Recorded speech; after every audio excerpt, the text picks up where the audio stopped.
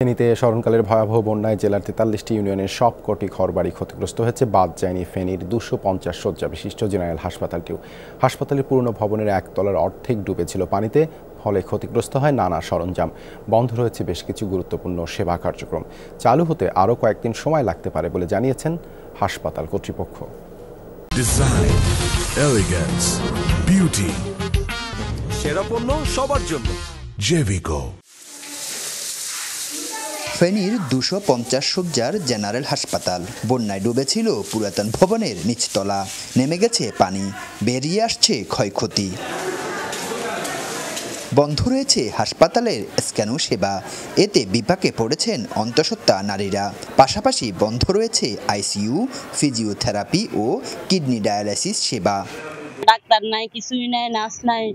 আমরা কালকে রাত্রে আসছি এখন পর্যন্ত কোনো চিকিৎসা পাই নাই। আমরা আগে বলতাম খাবারের মাধ্যমে পুষ্টি চাহিদা যেন পূর্ণ হয় অনেকটা হয়তো আমরা সেটা পাচ্ছি না। সেগুলোর জন্য আমরা সাপ্লিমেন্টারি যে আয়রন ক্যালসিয়াম মাল্টিভিটামিন দিচ্ছি সেগুলোর মাধ্যমে সেটা যেন পূরণ হয়। এই পর্যন্ত আজকের এগুলো সহ যতগুলো হসপিটাল আছে তিনটা হসপিটালে ট্রিটমেন্ট করেছি প্রায় বিশ থেকে একুশ জন বাচ্চা উদ্ধার হয়েছে আল্লাহর মধ্যে ডেলিভারির মাধ্যমে। বন্যায় হাসপাতালের জরুরি বিভাগ ক্ষতিগ্রস্ত হলেও দোতলায় চলছে কার্যক্রম।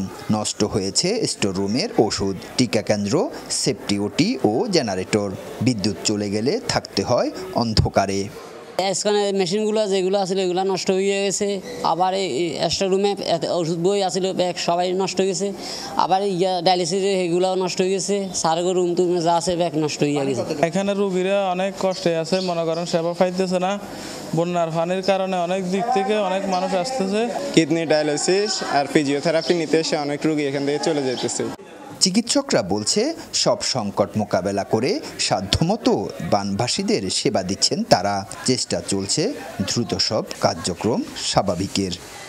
যেহেতু এখানে ইলেকট্রিক্যাল কিছু টেকনিক্যাল বিষয় আছে ইলেকট্রিক্যাল লাইন ডায়ালিসিসের যে মেশিনারিজগুলো এই মেশিনারিজগুলো চেক করা রোগীদের সেফটিরও এখানে কিছু ব্যাপার আছে। আশা করছি আমরা অতি দ্রুত এই সেবাটা আমরা চালু করতে পারব। এখানে পানি ছিল বুক সমান। সে পানি নেমেছে। কিন্তু চালু হয়নি সব চিকিৎসা সেবা। সব ধরনের চিকিৎসা সেবা চালু করার দাবি করছেন এখানকার রোগী ও স্বজনরা। আরিফুর রহমান, যমুনা নিউজ, ফেনী।